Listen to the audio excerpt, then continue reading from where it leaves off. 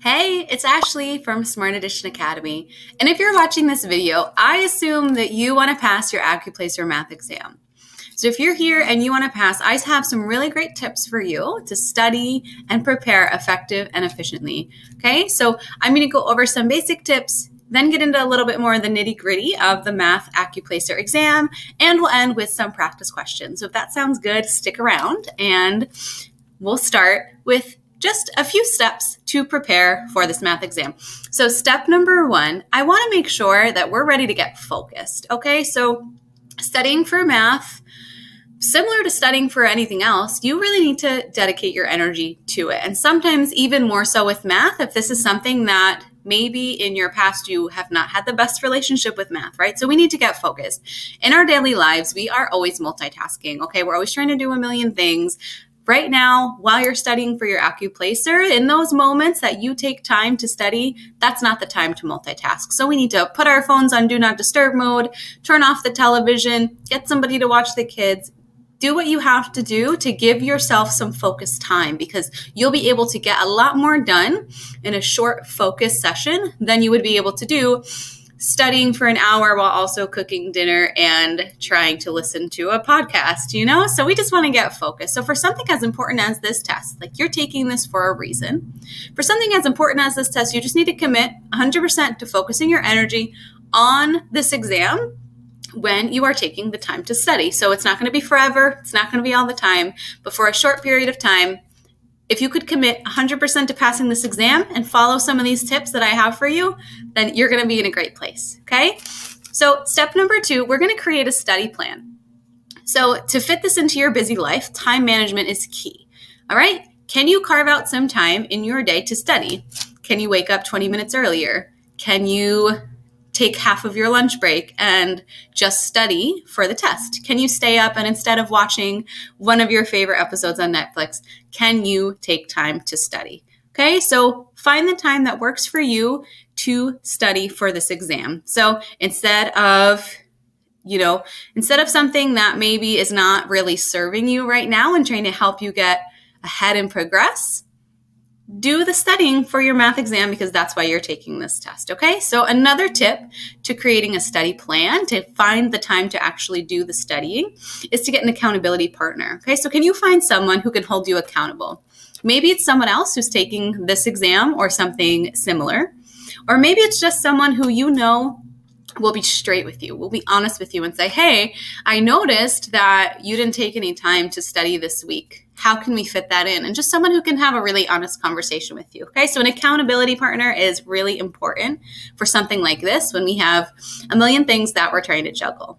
Okay, and last but not least, we need to choose quality study materials. Okay, so in order to prepare efficiently, we need to have good materials to study. If not, we're going to be kind of all over the place, right? Like if you're trying to study and you're just Googling random websites, pulling up random videos, you may not be getting all the content that you need.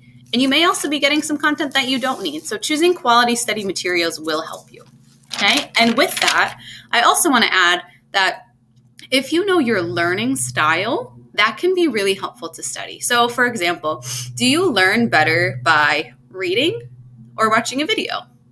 Or maybe you just prefer to listen to somebody, right? Are you more of a visual learner or a tactile learner who needs to use their hands? So there's lots of different options for courses and study materials that can help fit the way that you learn. At Smart Edition Academy, we actually have courses that offer multiple opportunities for different learning styles. So we have videos that help go over practice examples or explain content, while we also have written lessons that are educational and allow you to read and go at your own pace. So lots of different options for you in that course. So it's just important that the materials that you choose are specific to the AccuPlacer math exam, okay, have the correct content, and also just fit your learning style, okay? So as you start studying, here are a few tips to guide you. So we just talked about learning style a little bit. So how do you learn best? Reading, watching, doing, maybe a combination of the three. A lot of us lie somewhere in the middle.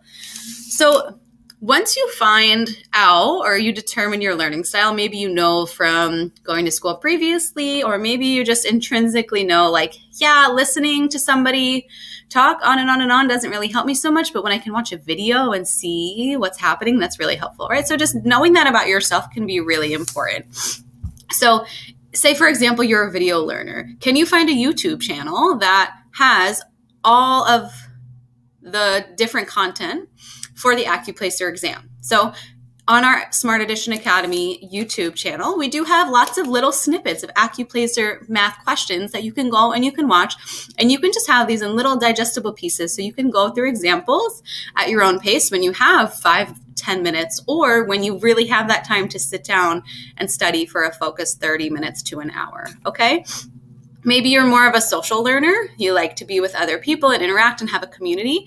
You could join a Facebook group, okay? Have someone, you find a Facebook group where there's people who are taking this exam and providing accountability, right? That word is coming up again. So, accountability. Um, there's also a link actually in the bottom of this video uh, in the description. If you find the AccuPlacer course in there that has, like I was mentioning, the educational lessons, it has the videos. Okay, so all of that from Smart Edition Academy is linked below, but that's not the only course out there, right? If that doesn't feel like the best fit for you, finding one that does, that provides what you need for your learning style will be so helpful for you while you're studying. Okay. We also do offer, if this is just for math, but we also do offer all the other test topics as well. So if you are taking more than one content area, that you may find that to be helpful. So then you have some continuity, right? Like you know what to expect from your math course, and then it's similar for the other topics. So as we are studying, right, we've determined our learning style, we have our study materials. Now we're going to get familiar with the type of math that's on the AccuPlacer. Okay.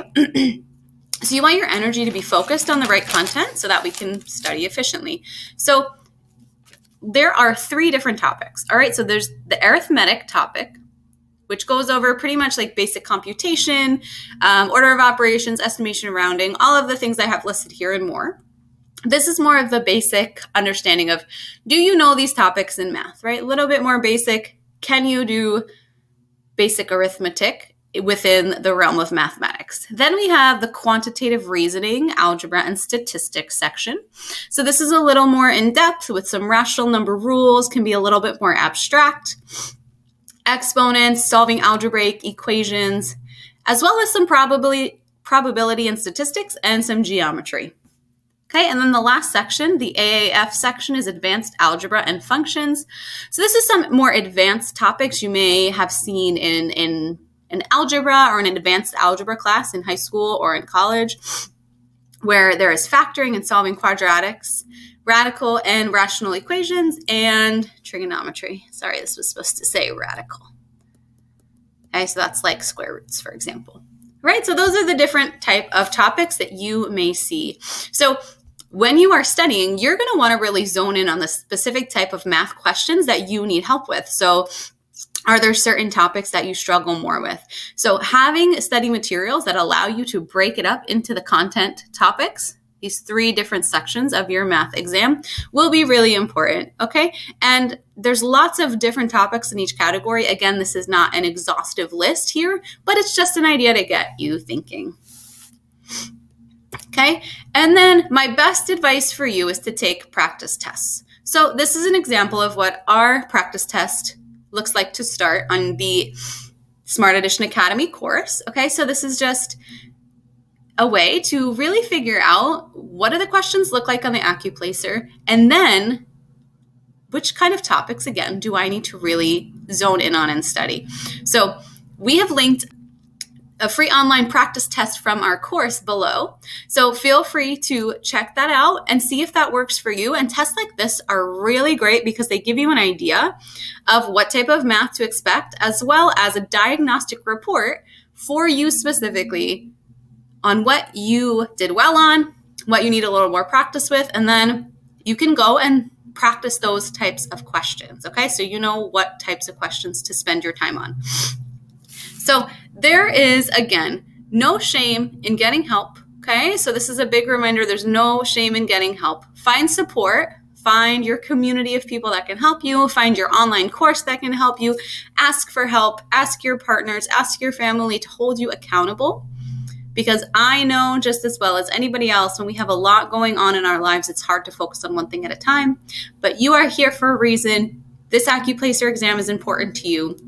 So you have to just take the time to really focus and with math specifically, the best way to do that is with repetition and practice. Okay, so let's try a couple practice questions together today to wrap up our video.